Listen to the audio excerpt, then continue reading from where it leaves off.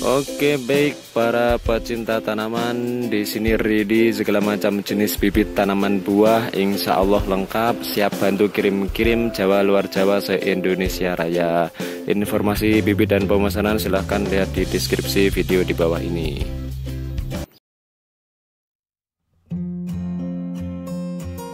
Ya oke para pecinta tanaman masih bersama informasi tanaman dan peternakan.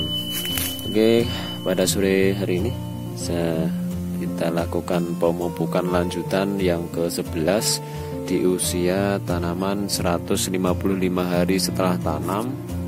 Nah kondisi tanaman seperti ini eh, ketinggian sekarang 2 meter kurang lebih ya ada yang lebih.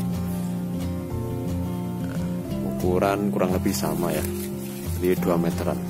Di usia 155 hari setelah tanam kita lakukan pemupukan yang ke lima eh yang kelima yang ke sebelas ya. Kita lakukan pemupukan. Nah ini pupuknya. Sebelumnya jangan lupa subscribe like share channel kami dan ikuti informasi selanjutnya seputar tanaman dan peternakan. Bersama kita berbagi ilmu yang bermanfaat. Ya oke. Okay, kita lakukan pemupukan Nah di pupuk yang dipakai itu TSP dan KCL seperti ini. Perbandingannya 2 banding 1 TS2 KCL 1 dicampur jadi satu ya. Ini nggak apa-apa dicampur jadi satu. Nah, Kemudian untuk dosisnya atau takarannya itu satu sendok makan ya. Satu sendok makan rotasi pemupukan dua minggu sekali dan ini menjelang masa pembuahan ya. Masa pembuahan kita lakukan pemupukan menggunakan TSP dan KCL. Jadi tes BKCL ini berfungsi untuk uh, memperbaiki akar atau memperkuat akar, kemudian batang-batang merangsang pembuahan.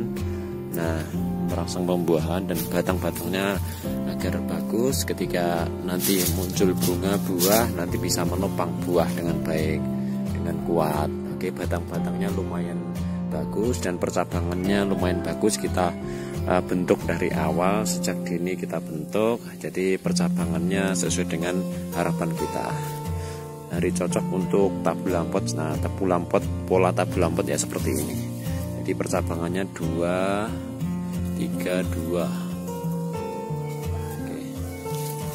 Oke. Oke jadi bagi teman-teman yang eh, baru bergabung di video ilmu dasar tabu lampot jambu madu, silahkan lihat juga ilmu dasar tabu lampot jambu madu dari part 1 sampai dengan yang terbaru saat ini. Jadi bisa melihat perbandingannya, jadi pertumbuhannya seperti apa, perkembangannya seperti apa dengan perawatan yang seperti apa. Oke. Kembali lagi terkait dengan pemupukan ya. Oh iya, jadi bagi teman-teman yang ingin melihat uh, ilmu dasar tabu lampot videonya ada linknya link videonya ada di deskripsi video ini. Oke kembali lagi di pemupukan. Jadi kita menggunakan TSP dan KCL dan menjelang pembuahan uh, menjelang fase generatif ini kita lakukan rotasi pemupukannya. Jadi NPK TSP KCL, NPK TSP KCL. Jadi minggu eh, jika minggu lalu kita gunakan NPK kemudian uh, yang saat ini kita gunakan TSP dan KCL dua minggu kemudian NPK lagi dua kemudian dua minggu kemudian TSP dan KCL jadi saling bergantian. Nah, kalau sebelumnya di masa pertumbuhan kita gunakan NPK kemudian dua minggu kemudian NPK kemudian dua minggu kemudian baru TSP KCL nah itu di fase Eh, pertumbuhan atau vegetatif. Nah, sekarang fase menjelang pembuahan kita gunakan TSP dan KCL, rotasinya NPK, kemudian TSP KCL, kemudian NPK, kemudian TSP KCL. Nah, jadi kita lakukan sistem di apa ya?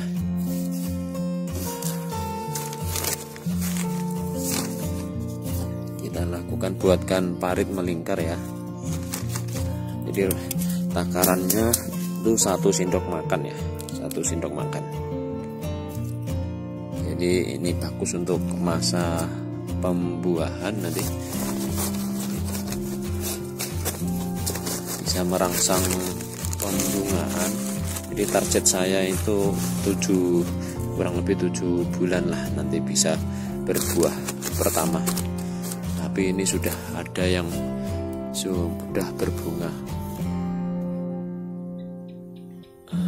sudah ada yang berbunga di di usia 155 hari setelah tanam sudah berbunga di prediksi eh, 7 bulan ini 155 hari sudah berbunga jadi lebih cepat malah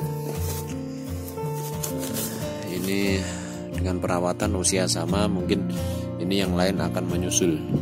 Jadi biasanya seperti itu menyusul berbunga. Oke bagi teman-teman yang ingin uh, menanam jambu madu skala kebun ya skala besar. Nanti bisa uh, apa namanya bisa inden bibitnya lima bulan lagi siapkan bibit jambu ini. Nah jadi karena nggak bisa instan langsung karena permintaan juga banyak jadi perlu dibuatkan bibitnya. Jadi kalau ini musim kemarau musim uh, penghujan tahun depan bisa diambil. Nah begitu. Jadi kalau kalau bagi teman-teman yang ingin uh, mungkin senang uh, menanam jambu madu dengan ukuran yang sudah dibentuk dari awal seperti ini persambangan bagus dan usianya sudah mapan tinggal tanam meneruskan berbuah nah silahkan uh, japri di WA saya. Nanti kami uh, buatkan atau kalau sekarang ada ya langsung diproses ya. Ada yang request satu pohon dua jenis ya bisa nanti disiapkan seperti ini ini satu pohon ada dua jenis yang ini yang di bawah ini citra ya citra merah warnanya buahnya kemudian in, ini induknya eh, jamu madu jadi kalau ketika nanti berbuah bersama nanti ada yang hijau ada yang merah Oke baik, uh, sekian video dari saya mudah-mudahan bermanfaat. Jangan lupa subscribe, like, subscribe, like, share channel kami dan ikuti informasi selanjutnya seputar tanaman dan peternakan. Bersama kita berbagi informasi yang bermanfaat.